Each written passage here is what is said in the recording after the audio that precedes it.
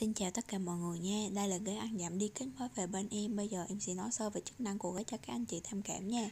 Đây là đồ gác chân cho bé. Đó thì nó có hai chế độ. Bé nào chân ngắn thì mình ờ, ờ, để nút một Còn bé nào chân dài thì mấy anh chị tháo vít ra ờ, để xuống nút hai cho em.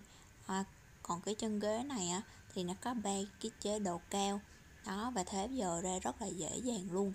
Còn cái bàn này là bàn ăn của bé có gắn kèm đồ chơi cho bé khi ăn đỡ nhàm chán nè. Và cái bàn này á có thể tháo ra để vệ sinh cực kỳ tiện lợi luôn. Đó à, đồ. Và cái bàn này nó có bốn nấc mình có thể tiến tới lùi hoặc là lùi ra để à, vừa người với bé và cái đồ bọc ghế này là đồ bọc ghế bằng da cho bé nha. Đó và có đai an toàn cho bé luôn. Và cái ghế này nó có tặng kèm theo bánh xe để à, sẽ uh, khi mà gắn maxi sẽ thành một chiếc xe. Đáng yêu luôn sau đây sẽ là video chi tiết để anh chị hình dung rõ hơn về cái ghế ăn dặm đi kích này nha. Đó cái ghế này cực kỳ đẹp luôn. Xin mời anh.